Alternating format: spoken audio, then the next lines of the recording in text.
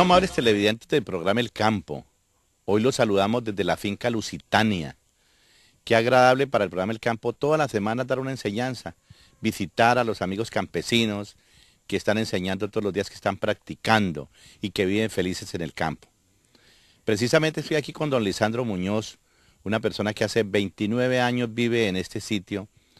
Eh, eh, la vereda Lusitania queda por, por aquí cerca de Balcanes, cerca al batallón Huepí. Eh, estos fueron potreros de, la Arandia. Cuando él tomó ese sitio, pues era un sitio con cañeros y él tuvo que empezar a, formar esta, esta importante finca. Bueno, entonces, qué importante darle un saludo de bienvenida al programa El Campo a don Lisandro, que estamos totalmente seguros que nos va a dar una enseñanza hoy de la importancia que tiene la unión familiar, la importancia también que tiene eh, tener sentido de pertenencia, tener ganas de hacer las cosas. Hace 29 años comenzaron e- ellos con esta tierra sin casa, sin árboles, sin nada. Y hoy por hoy es una, digamos, una granja productiva, autosuficiente, sostenible. Y a pesar de que tiene de todo, todos los días le anexan algo nuevo para aprender y para enseñarle a los demás vecinos de esta región. Don Lisandro, eh, bienvenido al programa El Campo y contémosle a los televidentes de esta ventana productiva cuánto hace que está usted acá, cómo llegó a este sitio. Muchas gracias. eh, mi nombre es Lisandro Muñoz. Soy del Huila, pero hace más o menos unos 38 años vivo acá en el Caquetá, ya me hallo caqueteño. Eh, pues vive, vine a dar acá a esta región eh, por medio de los programas que tuvo el INCORA en el año 83, 84 y y pues llegué con mi familia muy pequeña aquí, mis hijos muy pequeños, y aquí nos, nos quedamos y nos amañamos y estoy supremamente amañado. Ya llevo 29 años viviendo acá en esta región. He hecho unos procesos importantísimos para el campo y quisiera que toda la gente que, que viera este programa y tuvieran a bien y que no conozcan, los invito desde ya de una vez para que vengan a mi parcela para mostrarles unas cosas que hemos hecho acá y, y unas experiencias que tenemos de hartos años, que lo hemos realizado, que lo conseguimos por medio de la Universidad de la Amazonía y otros campesinos en otros sectores fuera del Caquetá. Bueno, llegaron hace 29 años, dice usted que está feliz, pero como ejemplo tiene que su familia no se ha eh, ido, mejor dicho, siguen unidos. Eh, me decía usted al comienzo que de pronto eh, los muchachos hoy por hoy estudian y no regresan a sus parcelas. Eh, o, ¿Qué le tiene que decir usted a los muchachos para que regresen a sus fincas? Yo les recomiendo mucho a los jóvenes de, hoy que no abandonen el campo, que, el futuro de una familia está en el campo. Tengo la experiencia porque he tenido mis hijos acá colaborándonos dentro de la, de la parcela y hemos hecho lo que tenemos hoy para mostrarle. Perfecto. Bueno, entonces dice usted, hace 29 años comenzó, ¿cómo era esto? ¿Cómo era exactamente? Porque esto tengo entendido que el INCORA parceló para unos, pe- creo que fue para el M19 que parceló este sector, ¿o cómo fue? Sí, señor, esto es una- un programa de, de gobierno para los amnistiados del M19, pero eh, dentro de este programa de acá de Balcanes y Germania sobraban unas parcelas, entonces nos, nos las dieron a unos campesinos que no éramos amnistiados. Correcto.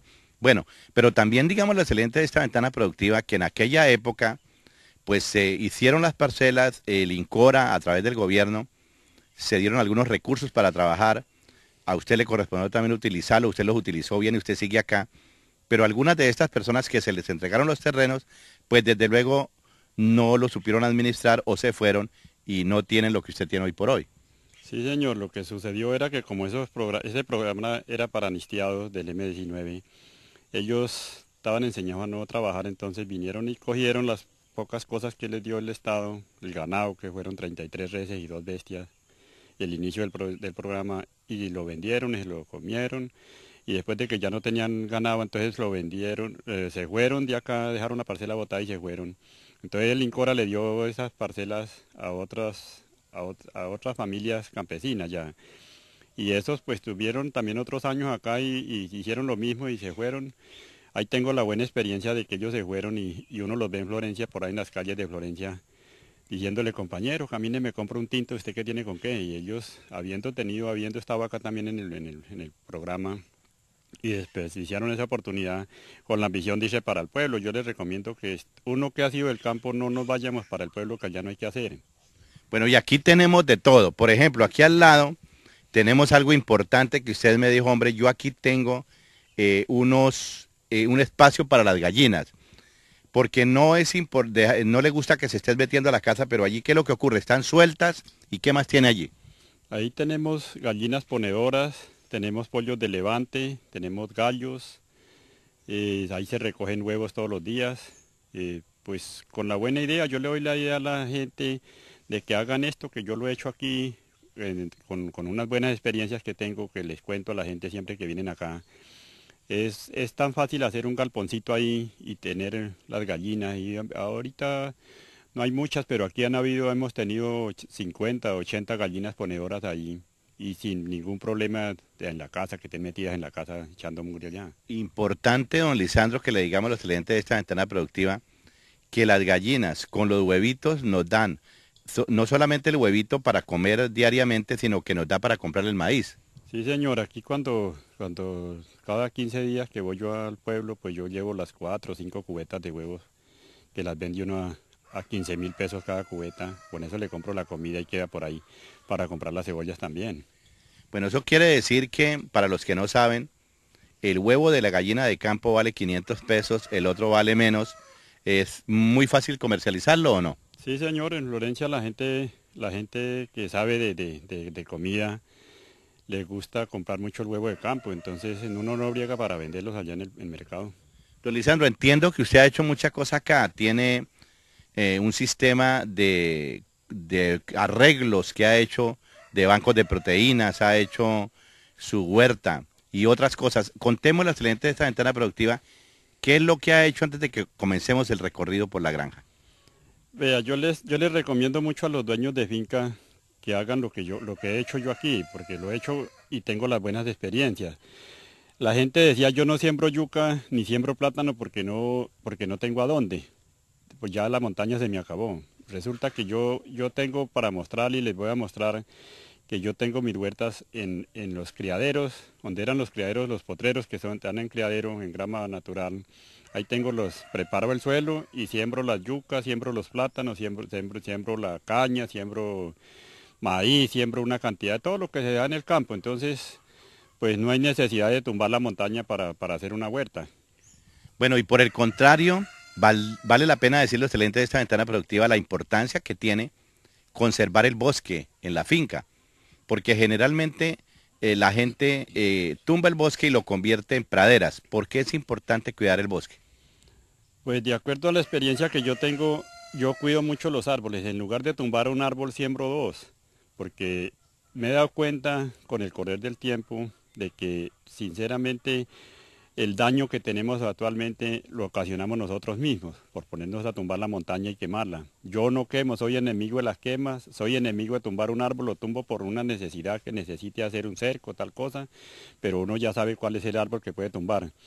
Eh, es importantísimo tener la montaña en la finca o, restrojo, lo que sea, porque fuera de, prestarnos un servicio para, para los quehaceres de la finca, para la leña y para sacar los bejucos, las varas, lo que necesite para la finca, estamos conservando el medio ambiente también, que es importantísimo, que eso es lo que, eso es lo que nos tiene matados con estos veranos que nos hacen en veces por nosotros mismos haber acabado el medio ambiente. Bueno, vamos a comenzar el recorrido. Usted me dice, vamos a comenzar primero viendo exactamente lo del galpón que usted ha hecho acá, que es, digamos, una pequeña manga para que las gallinas también pastoren común y corriente. Y usted les echa, ¿qué otro tipo de comida les echa? Les echo maíz, les echamos bore, les echamos yuca, les echamos eh, ramas del, del banco de proteína también, O sea, mata ratón, eh, cuchilluyo, ma- quiero- Mo- morera, bore, esa, cratilia, nacedero, de todo lo que tenemos en el banco de proteína. Bueno, sería importante, don Lisandro, usted que conoce bastante, digamos, el grado de proteína que tiene, digamos, el botón de oro, usted me puede decir, ¿conoce Sí, toda sí, esa parte? Conozco todo. De la, de la creatilia, Sí, de la morera. Sí. A ver, contemos la excelente de esta ventana productiva, porque yo siempre he dicho que el, el conocimiento empírico con el conocimiento que uno adquiere en la universidad es sumamente importante. ¿sí? Yo he creído que si uno no va a la práctica, pues no va a ser, eh, no va a poner, no puede ser mejor. ¿Qué tipo de, beneficios tienen como nutrientes tanto para las gallinas o para todos los animales que hay en la granja? Eh, bueno, empezamos por el bore, que es- hace parte también del, del banco. El bore, nosotros cuando estábamos acá en el Caquetano no utilizábamos el bore sino únicamente el tallo de la mata, porque eso era lo bueno. Ahorita cuando ya me di cuenta para qué sirve una mata de bore, la, hoja del bore es lo más importante de la mata, a pesar de que toda la mata es importante. La hoja del, del, del, del, ah, del bore contiene el 18% de proteína, la avena del de la hoja contiene el 14% y, y el tallo, que era lo que nosotros buscábamos anteriormente, no contiene sino el 8% si lo aplicamos crudo. Vuelvo y les repito, porque es que nosotros no hacemos las cosas bien, porque nosotros lo, en veces no sabemos o en veces hacemos porfiados para hacer las cosas. Eh, si nosotros cocinamos el bore, perdemos los, nutrientes que va a tener la, la planta. Si yo cocino una, una yuca de bore que tiene el 8%, me quedaría convertida por ahí en el 3 o en menos de por ciento de, de proteína. Entonces es mejor aplicarlo crudo para los animales que ellos lo comen lo más de bien. Bueno, pero aquí para aprender, si yo hago una especie de colada, de sopa, digamos, el, ya lo que es la parte líquida y lo que es el bagazo del bore, en ese momento sí tiene el 8% de nutrientes. Pero estando crudo, Estando crudo, ya hervido ya siempre lo pierde. pierde, pierde los nutrientes. Y el bore, pues fuera de, de servir para, para el alimento de los animales, de las gallinas, de los cerdos, de los pescados, sirve también para nosotros los humanos. Nosotros podemos hacer tortas, podemos hacer arepas, podemos hacer coladas, podemos hacer una cantidad de cosas que hay para hacerlas que son de muy buena calidad, un alimento de muy buena calidad. Y hablemos entonces de las proteínas que tiene el botón de oro y digamos la melina. Le hablo del botón de oro, que conozco harto, tengo la experiencia, le hemos hecho un seguimiento, no me lo, no me lo he inventado yo, eso le hemos hecho un, un se le hizo un seguimiento a todas las plantas que tenemos dentro del banco y el botón de oro está en, en el, el 18% de proteína. Eh, la morera está en el 28%, el nacedero está en el 28%, matarratón está en el 28% también, la morera, la, cratilia está en el 22% y el bohío está en el, en el 18%. Y hay otras plantas que están también dentro del banco, pero no, son, no las tenemos todavía identificadas la cantidad de proteínas que tiene, pero, pero son buenas también. Bueno, importante que los campesinos, las personas que ven este programa sepan que aparte de la proteína que tiene, algunas de estas eh, plantas que usted está nombrando también son eh, plantas que aflojan el terreno y que ayudan para que salga el nitrógeno y otras cositas. ¿Cuáles son esas? Tenemos, fuera de tener un banco para alimentación de los animales, del ganado y de los cerdos, de las gallinas y el de los pescados, tenemos la importancia de los árboles, es que son, son una cantidad de árboles de esos son, son portadores de nutrientes al suelo y otros son capturadores de carbono. Entonces es- se ha hecho el trabajo buscando eh, hacer las dos cosas a la vez o varias cosas a la vez porque fuera de esos, de esos puntos que le nombro, hay, tiene otras importancias, otras cosas que, que son buenas, mejoran el suelo, le aportan humedad al suelo, le aportan una cantidad de nutrientes al suelo que el suelo se va a mejorar. Bueno, perfecto.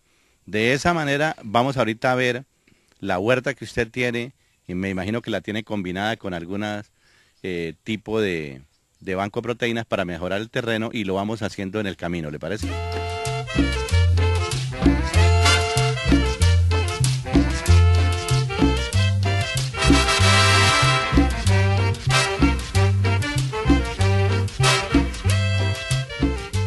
Bueno, Lisandro, ¿qué es lo que tiene acá? ¿Ese es el, el famoso bore? Este es el bore, sí señor. ¿Qué, qué es lo que nos va a enseñar? Lo que les voy a enseñar es que dentro del galpón, la ventaja de tener las gallinas encerradas es que uno coge las, las, las hojas así en esta forma, las corta y las amarra sobre, sobre un palo, en la sombra. Las deja más o menos tanteando que la gallina le alcance a comer para que ellas la aprovechen todo, ellas, se comen todo, porque si uno, pues aquí se las, se las echamos al suelo y ellas se las comen, pero entonces es como más... ¿Ahorita la vamos a echar al suelo o la vamos a amarrar? ¿Las vamos a echar al suelo? Sí, la echamos A ver, permítame que yo quiero aquí hablar con doña María del Carmen. Doña María del Carmen, bienvenida al programa El Campo. Gracias. Entiendo que la que maneja el gallinero es usted acá. Sí. Entonces, contémosle lo que le podamos enseñar a los clientes de esta ventana productiva con, con este sistema de, de galpones para las gallinas.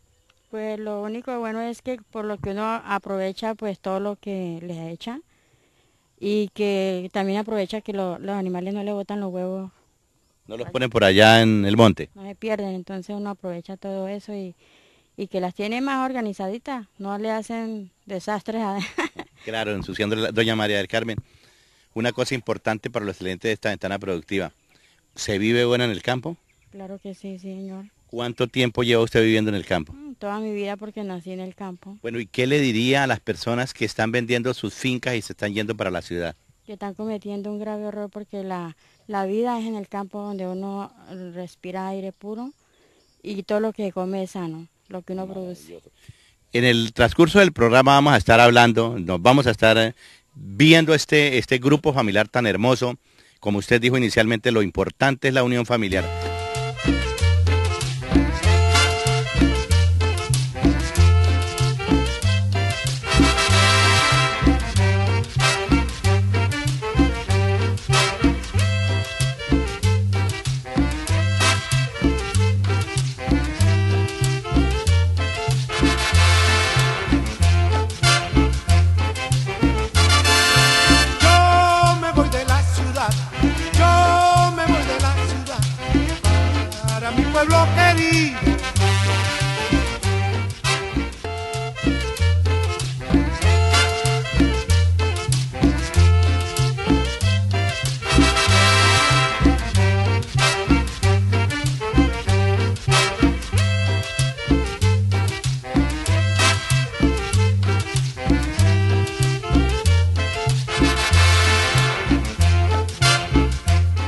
Bueno, importantísimo lo que usted nos dice. Si uno tiene una finca es imposible que estemos yendo a la, galería a comprar las cosas de la casa.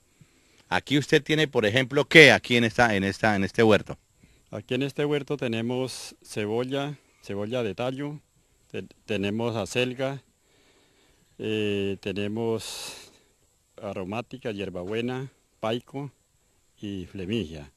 Bueno, allá está el paiquito que es el, el del purgante de los muchachos y de nosotros también, ¿o no? ¿Cómo se hace? Sí, señor, ese sirve para el, para el purgante y sirve para otras cosas. Yo lo que le quiero explicar es Sí. la importancia que tiene para hacer una huerta de estas eh, a nivel de campo, que nos vayamos a ir olvidando de, de los químicos. que Eso es lo que nosotros queremos y les mostramos a la gente cómo se hace una huerta de estas sin necesidad de químicos, a pesar de que dicen que la tierra del caqueta es tan mala que no da nada. Pero ahí tenemos la muestra para mostrarle que sí se da.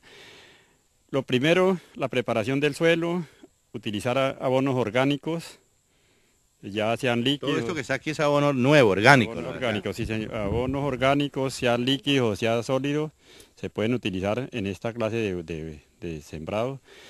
Y, y no utilizar químicos cuando se haya la necesidad de fumigar la huerta. Hacemos unos purín con, con las hierbas aromáticas, por eso tenemos hierbabuena, tenemos paico, por allá en otra, en otra huerta la ya tenemos otras cosas que se utilizan para el purín. Entonces, con ese purín fumigamos las, las, las plantas, las acelgas, las lechugas, los cilantros, lo que haya que los ataque la plaga de los gusanos. y no necesitamos contaminar. Ahí yo he a, a partes donde cultivan tomate y echándole furadán un día antes de coger la cosecha. Qué grave problema para la salud de nosotros. Nosotros no hacemos eso. Si, si mañana voy a coger el, el producido, la cosecha de, este, de esta huerta, utilizo hoy un purín natural de las mismas plantas, no nos va a afectar ningún, ningún sistema a nosotros. Perfecto. Bueno, corrámonos un poquito aquí, don Lisandro. Aquí al fondo, mire, aquí tenemos papayos que han nacido. Por, eh, se, han, ¿Se han regado las semillas por ahí han nacido? o ¿Qué ha La, pasado? la hemos regado, sí señor. Bueno, y al fondo, para que los televidentes sepan, está la comida de las gallinas, que como lo- nos lo indicó inicialmente, se utiliza eh, la hoja, también se utiliza la, be- la bellota, ¿cómo se llama? Lo del fuste, La- el, el tallo de la mata, el tallo de la mata. Las venas de la donde va la hoja. ¿Hay cerdos también acá? Sí señor, tenemos cerdos también. Ah, bueno, Lo utilizamos para los cerdos, para los pescados y para las gallinas. Bueno, vamos a seguir al corral para mostrar cómo alimenta usted las vacas acá.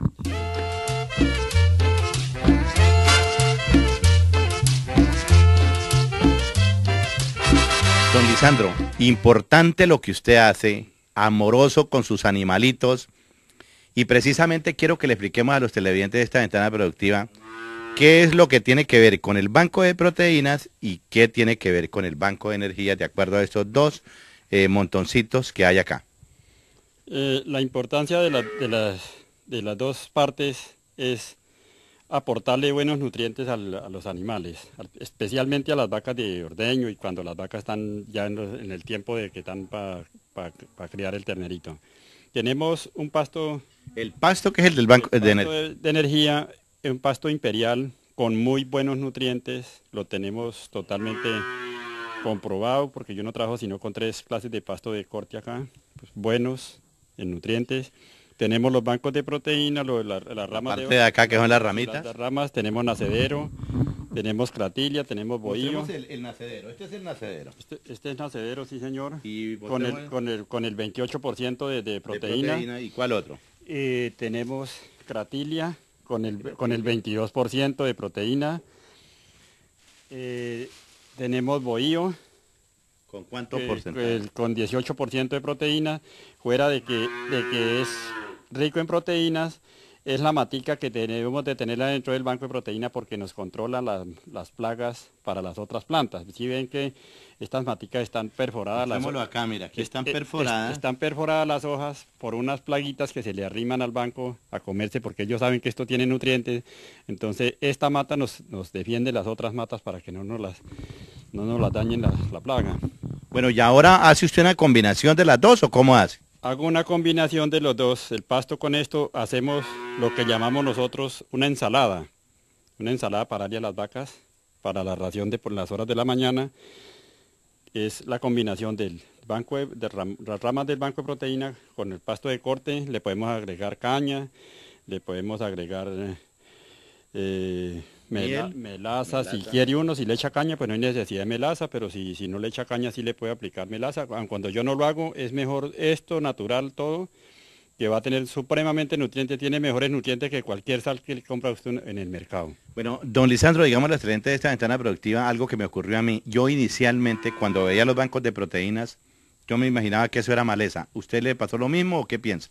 Cuando yo fui al valle y miré, que fuimos al primer taller y miré ese- esas restrojeras allá, yo decía, eso es pura maleza, llevar maleza, ponernos a sembrar maleza para darle a las vacas, pues allá tienen harta. Entonces, pero resulta que cuando ya nos dimos cuenta la importancia que tiene cada planta, entonces cuando le pusimos juicio a la cuestión eh, y comenzamos a darle, llevo más o menos unos nueve años aportando este, esta, esta clase de comida para el ganado de ordeño con muy buenos resultados. Vacas que parían dos años, tres años después de haber parido. Ahorita me están pariendo a los 14, 15 meses. Terneros de muy buena calidad. Leche se sostiene la lechería eh, en buen estado en invierno y en verano se establece la producción. Y me imagino que los sólidos totales de la leche también mejoraron. Mejoran el 100%. Yo aquí en, en- en la ruta donde yo vendo la leche, casi por el- la mayoría del tiempo la mejor leche que sale es la que yo saco acá. Porque Bueno, vamos a mostrar lo excelente de esta ventana productiva, la ensalada que le vamos a hacer la- al ganado ya. Sí, señor, vamos a mostrarle cómo se prepara y después le vamos a mostrar cómo se lo comen las vacas. Perfecto.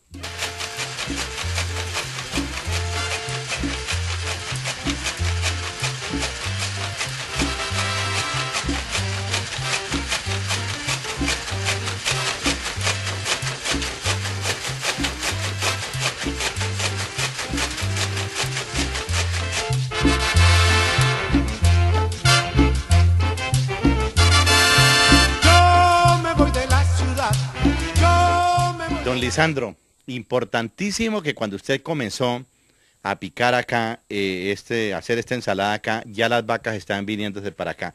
¿Qué, qué ocurrió aquí? ¿Qué, qué me va a decir? ¿Qué le va a enseñar a los clientes de esta ventana productiva? Bueno, yo, yo lo que les quiero explicar aquí eh, con respecto a esto, lo que les decía antes, la ensalada, ya está preparada la ensalada. Tenemos aquí una comida de muy buena calidad. Eh, está revuelto los ramoneos de- la- del banco de proteína con pasto, que llamamos banco de energía, con una, con una gran propiedad y, una recomendación que le quiero hacer mucho a la gente, porque la gente están tan, tan emocionados comprando unas máquinas que llaman polvorizadoras. No es conveniente para la vaca darle la comida totalmente pulverizada, porque va a tener problema con el tiempo, va a tener problema en el rumen en el animal.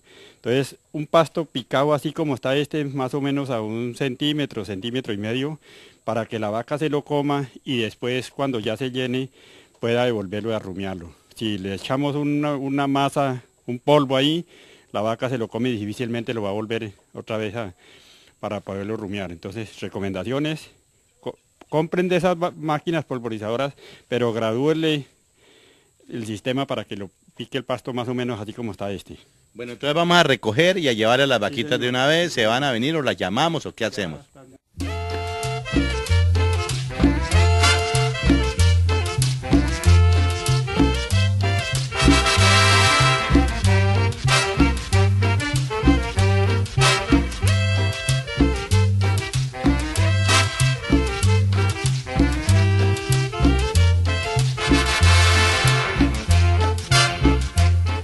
Don Lisandro, importante dice usted que en la granja para que sea autosuficiente y sostenible es que haya de todo.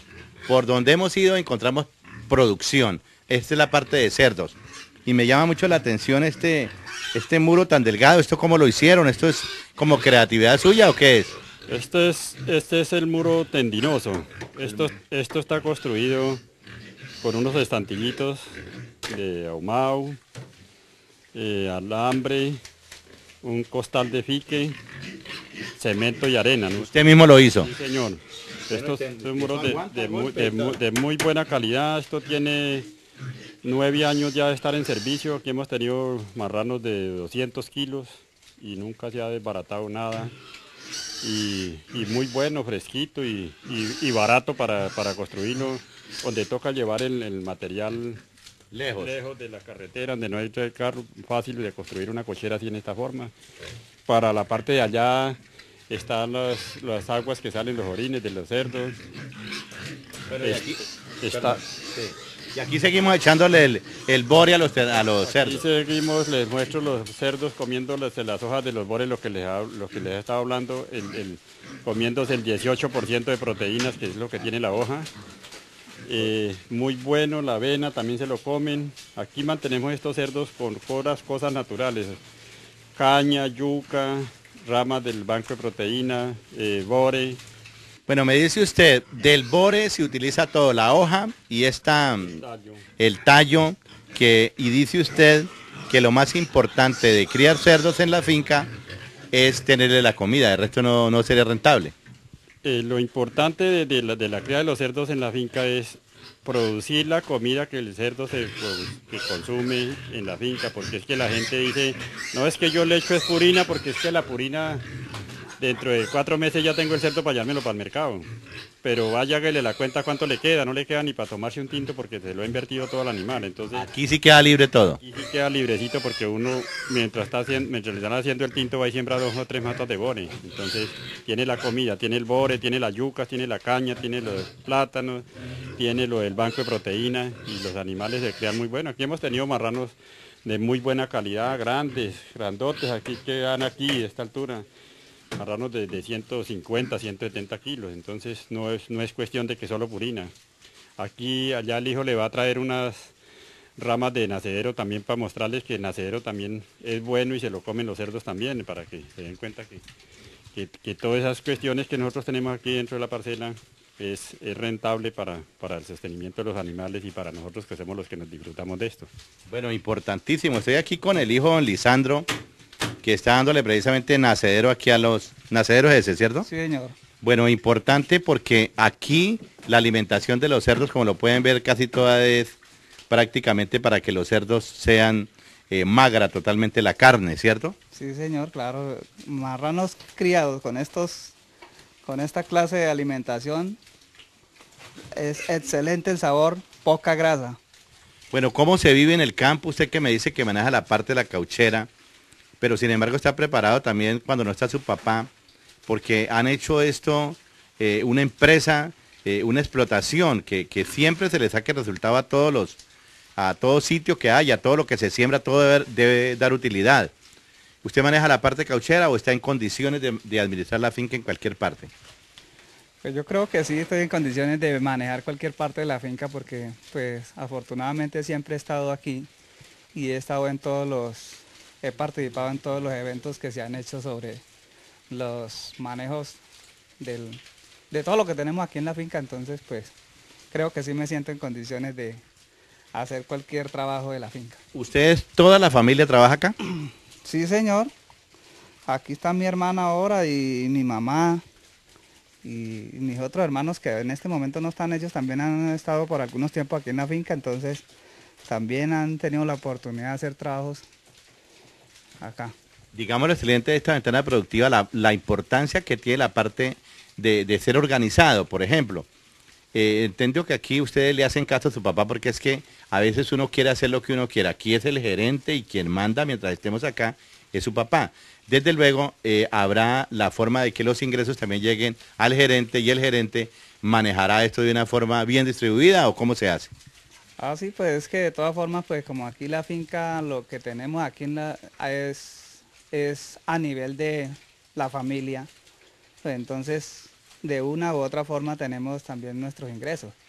En mi, en mi caso particular, por lo menos, yo trabajo especialmente con lo del caucho, entonces pues ahí está mi rentabilidad en lo del caucho. O sea, usted tiene un porcentaje que su padre, que es el gerente, le va a otorgar a usted.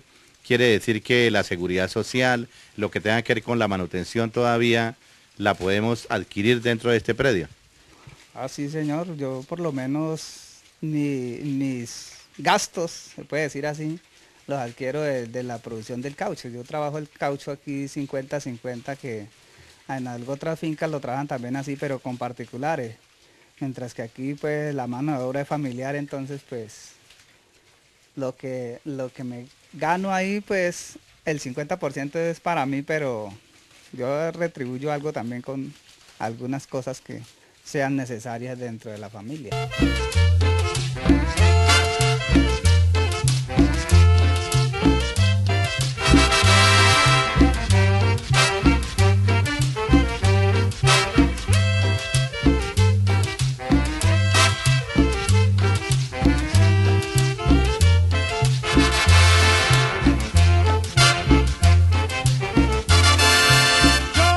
Importante también que en el recorrido que hacemos, uno se encuentra por aquí con los maestros de la universidad y precisamente eh, hoy me encuentro aquí con el profesor Bernardo Ramírez, catedrático de nuestra Universidad de la Amazonia, también director de un programa dirigido al campo. Y, y me encanta hablar con él precisamente porque él todos los días nos hace recomendaciones que algunas personas las ponen en práctica, pero otras se nos olvidan. Precisamente, profesor Bernardo, le quiero preguntar por qué razón hoy que usted nos ha acompañado en este recorrido viendo lo que hace el campesino que tiene ese sentido de pertenencia con la tierra, de adoptar estos sistemas tan hermosos, tan rentables y tan importantes, ¿por qué la gente no los adopta? ¿Qué será lo que está pasando, profesor? Bueno, una pregunta bien interesante, eh, don José. Y es que Bueno, en este momento yo estoy haciendo una investigación para mi tesis de grado en agroforesterías, precisamente sobre la adopción de la agroforestería. Como una técnica que está probada, que es eh, ambientalmente amigable, que es sostenible para la producción de unidades pequeñas, relativamente pequeñas como en la que estamos o la que hemos recorrido en el día de hoy. ¿no?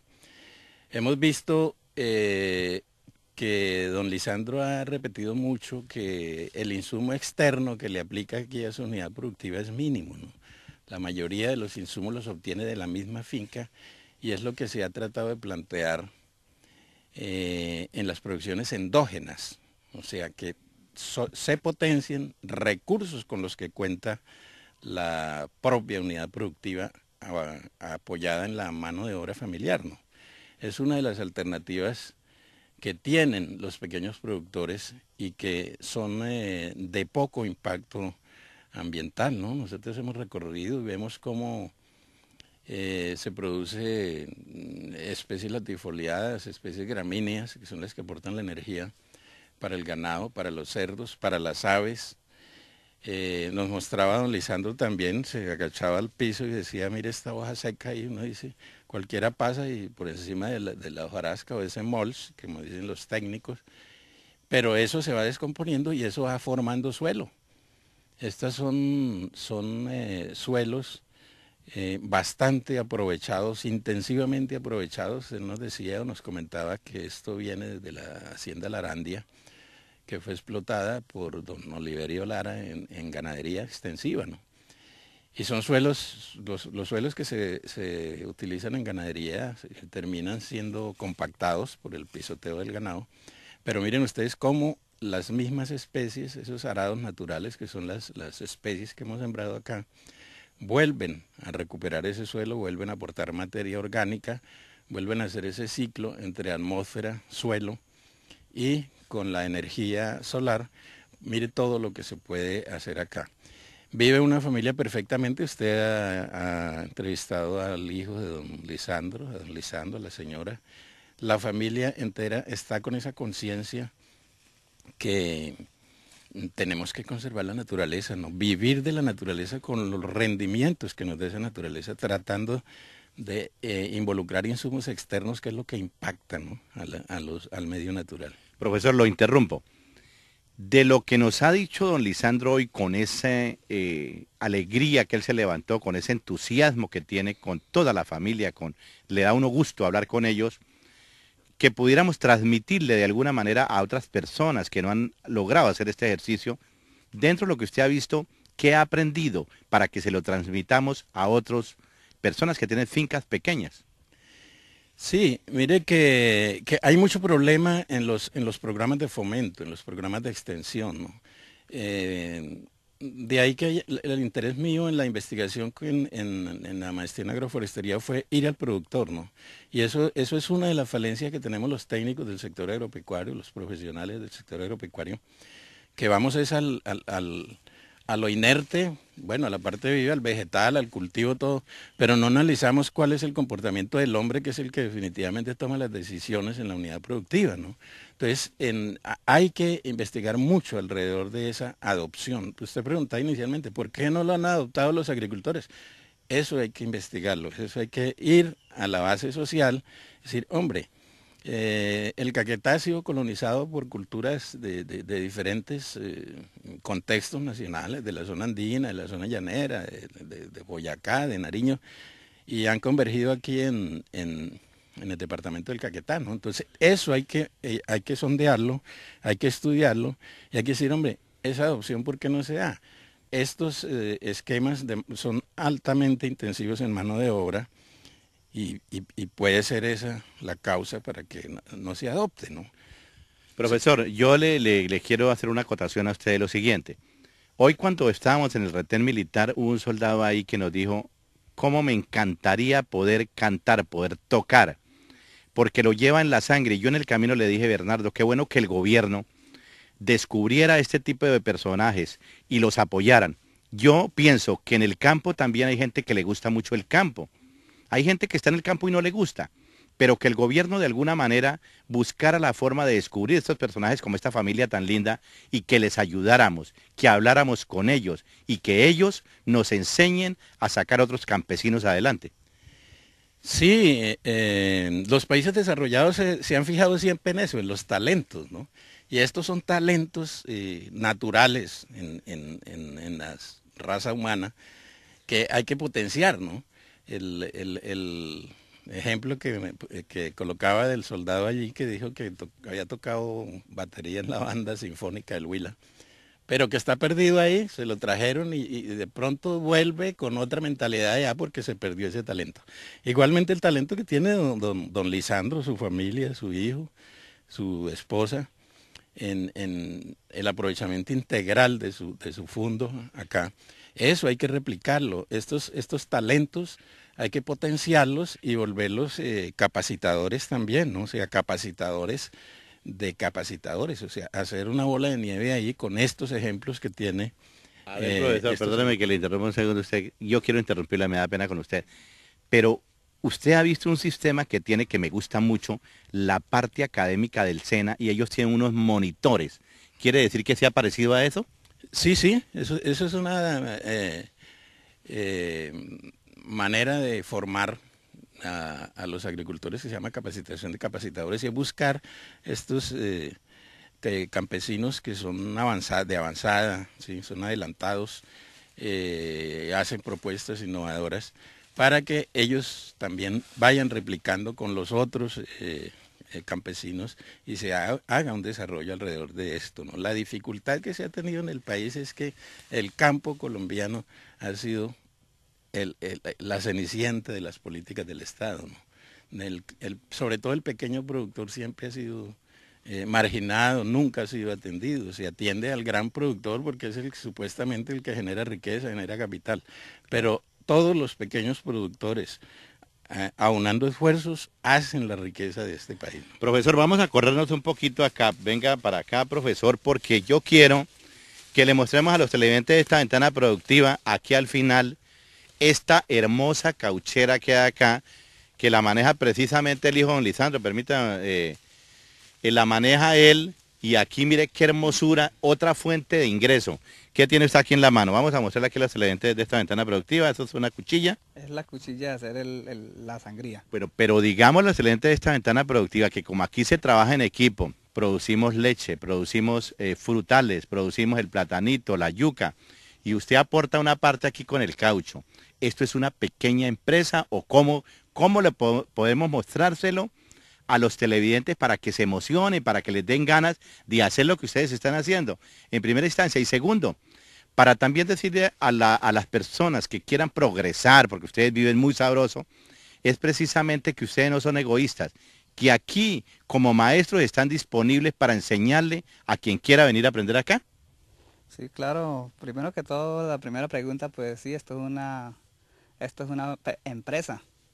La, la, finca que es una empresa, hay gente que no, que tienen de pronto algunas cosas algo parecidas, pero no lo, no quieren la, a la finca como una empresa, sino la tienen ahí como por tenerla. Bueno, después de este magnífica caminata que don Lisandro nos invitó a disfrutar, porque hay caballos muy buenos allí, hay aquí muchas formas de transportarnos, pero él dijo, vamos a caminar, vamos a disfrutar el día, vamos a disfrutar la naturaleza, nos vinimos y afortunadamente me encontré con el catedrático que está junto aquí, a mis amigos de la parte empírica que también son maestros, que nos enseñan todos los días. Profesor, lo que usted nos pueda aportar para el crecimiento del campo caqueteño es muy importante.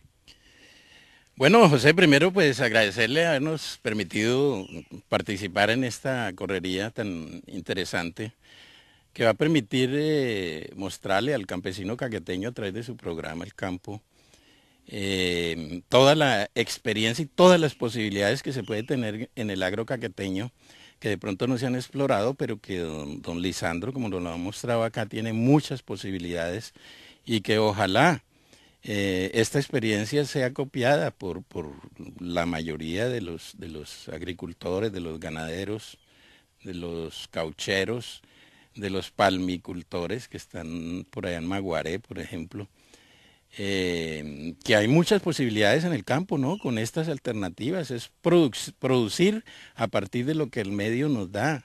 Aquí eh, el hijo de don Lisandro decía que eh, todo lo tenemos en la finca, hay es que potenciar eso, lo que se le pide al, campo, al agro caqueteño, eso se consigue. Muchas gracias, profesor.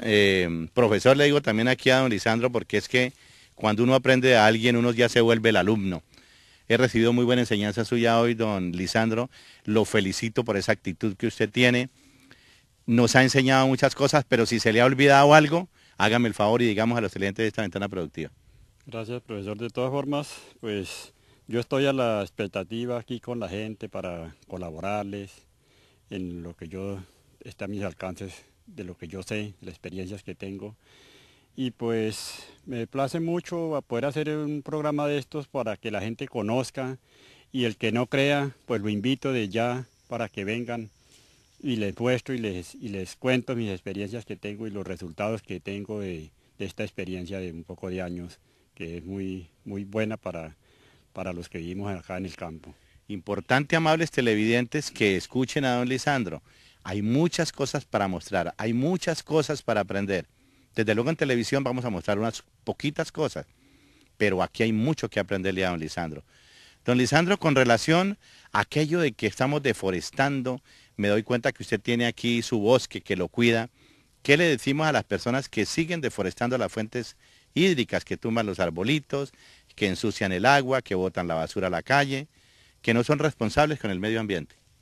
Yo les recomiendo mucho a la gente, a, a todos los que vivimos en este planeta Tierra, que conservemos esto poquito que, que hemos dejado nosotros mismos, que hemos, lo, que hemos los que hemos ocasionado el daño, que lo cuidemos, que esto es la vida y el día que acabemos con esto nos tendremos que acabar todo. Entonces cuidemos el árbol, no lo tumbemos, no lo quememos, no apliquemos químicos porque es, es el acabe del suelo, cuidemos lo poquito que nos queda y verá que a la vuelta de unos años nuestros hijos, nuestros nietos irán a acordarse nosotros mucho, decir, ve, mi papá conservó esto, sigamos la, misma línea que él tuvo, entonces yo les recomiendo mucho eso, para que tengamos una Colombia nueva como, como, como era anteriormente.